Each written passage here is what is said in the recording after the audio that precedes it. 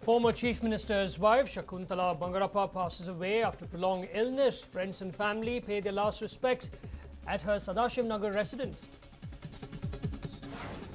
Warring brothers fail to unite even in times of tragedy. Bangarappa brothers still stand divided under the same roof.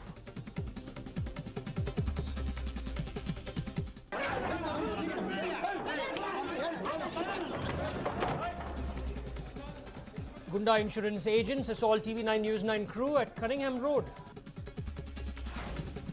BU Registrar of Evaluation meets DCP Central. Ravikanthe Gowda demands strict action against those involved in cash for marks scam. Section 144 imposed for the first time in Tamil Nadu as Election Commission claims prohibitory orders.